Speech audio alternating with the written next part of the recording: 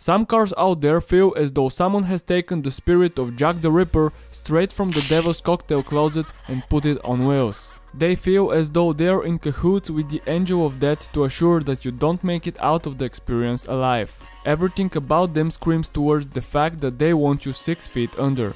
So here are the 3 cars that will kill you. But before we move any further, please like this video and hit the subscribe button down below so you can get notified of our latest videos. Now let's get into it.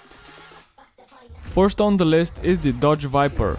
American-made supercar produces a terrifying amount of power weighted down by a monstrous 8-liter to 8.4-liter V10 motor. The SRT V10 motor also found in some Dodge trucks is an excellent platform for boosting, building and pushing out more power. As if they are not already scary enough to drive. Pressing the accelerator pedal can lead to an impressive launch or a sketchy slide. While the vehicle has a lot of power to offer and can hold traction once it is going, moving from a complete stop can be touch and go. This is problematic in any traffic where you might find yourself having to feather the gas just to keep the car under control. Like the name might suggest, the Viper has a striking and aggressive design and is unmistakable Dodge. In fact, everything about this supercar squeaks or screams Dodge. The doors are clunky and heavy and the car always shows to have noise from somewhere or another. Yep, it's a Dodge. You get what you get. After all, this is not a Ferrari. If you try to stimulate too quickly from a stop, the car undergoes a wheel hop, meaning the car seems to bounce out of control and not get traction. You may also have a problem grasping the road and just end up sliding all over the place.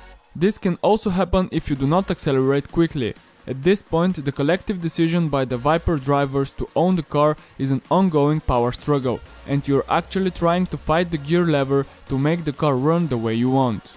This is a real driver's car, not for the faint-hearted. Generally speaking, if you are an experienced driver and this is not your first time driving a monster car, you may be completely safe. However, if you are inexperienced driver, getting this car is probably not a good idea. Dodge Viper has been discontinued twice so far, but enthusiasts have not been fooled. We are still very optimistic that Viper will be put into production again in the future. Dodge did not make any statements in support of this, but we remain hopeful anyway. At number 2 we have the Ferrari 599 GTO. Many of the cutting-edge solutions of the 599 GTO are also products of the experience of Maranello engineers developing the 599XX. It is one of the fastest Ferraris of all time. Although their technical efforts keep you alive, once the little lever is closed, the game is over. After all, to build a larger car on the track with a much faster front end than Enzo, one has to play with the devil.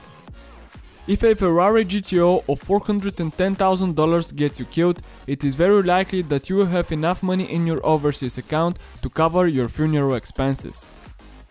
At number 3 we have the Venom GT. Venom GT is a beast high-performance sports car produced by Hennessy Performance Engineering in Texas. Venom GT is based on Lotus Exige. In 2013, the Venom GT set a Guinness World Record for the fastest road legal car from 0 to 300 km per hour with an average acceleration time of 13.63 seconds. Additionally, the car set an unofficial record for 0 to 322 km per hour acceleration at 14.51 seconds, crushing the Koenigsegg Agera's time of 17.68 seconds. This makes it the unofficial fastest accelerating road legal car in the world. In April of 2013, the Hennessy Venom GT crested 427.6 km per hour throughout 3.2 km during testing at the Naval Air Station Lemoore in California. Hennessy used two VBOX 3i data logging systems to document the run and had VBOX administrators certify the numbers. The Venom GT uses a heavily modified Lotus Exige chassis. The manufacturer says that the modified chassis uses components from the Lotus Exige including the doors, roof, side glass, windscreen, headlamps and wiper.